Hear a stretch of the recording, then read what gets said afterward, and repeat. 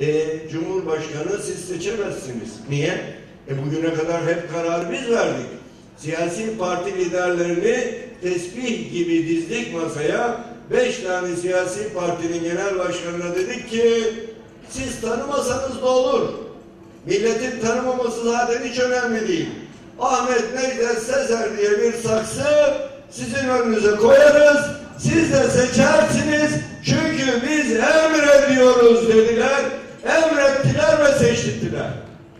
Ama zannettiler ki yine öyle bir AK Parti var. Yine öyle söz getirecekleri, diş geçirecekleri bir Recep Tayyip Erdoğan var. Ama yağma